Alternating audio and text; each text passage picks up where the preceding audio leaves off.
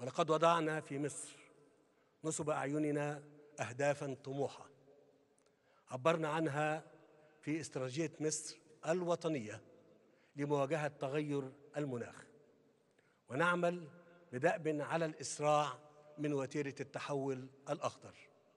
من خلال التوسع في الاعتماد على الطاقة المتجددة والنقل النظيف واتخذنا خطوات ملموسة نحو إحداث تحول هيكلي في القوانين والتشريعات وآليات العمل الحكومية.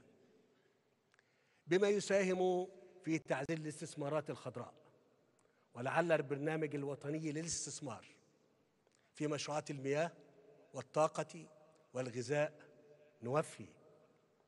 الذي أطلقته مصر مؤخرا هو تجسيد لهذا الطموح وهذا التوجه. وان ما تشهده مصر اليوم من تحول نحو الاقتصاد الأخضر منخفض الانبعاثات في كافة المجالات هو ترجمة عملية لما نادينا وننادي به.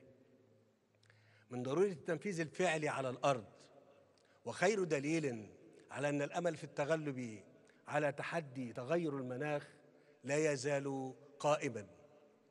إذا ما توافرت الإرادة والعزيمة ولعلكم تتفقون معي انه اذا كنا نرغب حقيقة في السير معا نحو مستقبل نضمن فيه أن تبقى درجات الحرارة عند مستوى ما دون الدرجتين مئوية.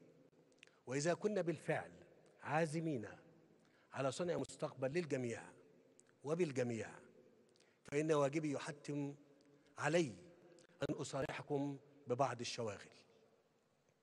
التي لابد الا نغفلها أو نتناسى وجودها. وهي أن قدرتنا كمجتمع دولي على المضي قدما بشكل موحد ومتسق نحو تنفيذ التزاماتنا وتعهداتنا.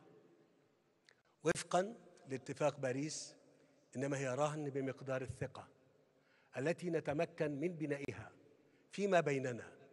ومن ثم فإنه من الضروري أن تشعر كافة الأطراف من الدول النامية خاصة في قارتنا الإفريقية أن أولوياتها يتم التجاوب معها وأخذها في الاعتبار وأنها تتحمل مسؤولياتها بقدر إمكانياتها وبقدر ما تحصل عليه من دعم وتمويل مناسبين وفقا لمبدأ المسؤولية المشتركة متباينة الأعباء. بما يتيح لها درجة من الرضا والارتياح. ازاء موقعها في هذا الجهد العالمي لمواجهة تغير المناخ وإن ذلك لن يتأتى سوى من خلال تهيئة مناخ من الثقة المتبادلة يكون محفزا وداعما لمزيد من العمل البناء. ولن يتأتى أيضا بدون قيام الدول المتقدمة بخطوات جادة إضافية للوفاء بالتعهدات التي أخذتها على نفسها. في تمويل المناخ ودعم جهود التكيف والتعامل مع قضية الخسائر والأضرار الناجمة عن تغير المناخ في الدول النامية والأقل نموا.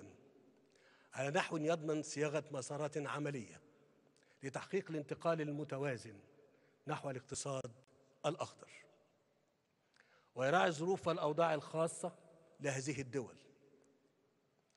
أصحاب الجلالة والفخامة والسمو.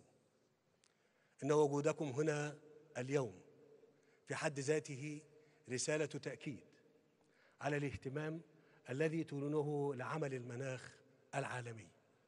والذي أرجو أن ينعكس في اتساق مواقف دولكم مع عنوان قمتنا وهو التنفيذ عنوان قمتنا وهو التنفيذ.